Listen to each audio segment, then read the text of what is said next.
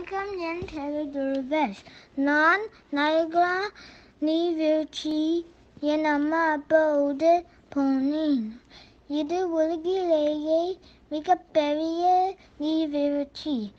நாங்கள் அந்த நீர்வீழ்ச்சியை அரு அருகில் காண படகில் சென்றோம். அருவி குத்தியது மிகவும் அழகாக இருந்தது நாங்கள் அந்த காட்சியை நன்றாக ரசித்து வருகின்றோம் நன்றி.